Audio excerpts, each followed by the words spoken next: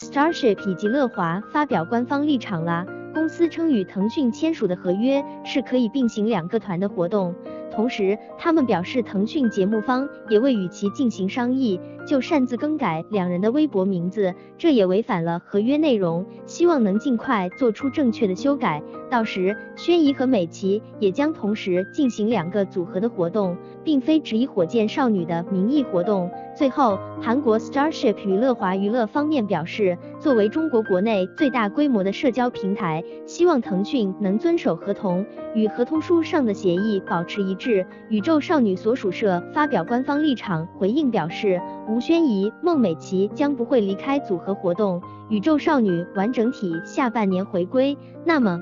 问题来了，有网友就说微博名只有在其账号拥有者手上才能更改名字，韩国经纪公司斥责节目组未和他商议就改名，那是否可以说明孟美岐和吴宣仪的账号不是由本人管理的，而是工作人员代为管理微博的？今天他俩的经纪公司重申孟美岐和吴宣仪将以火箭少女和宇宙少女两团并行，同时还斥责了腾讯没经同意就修改两人的微博昵称。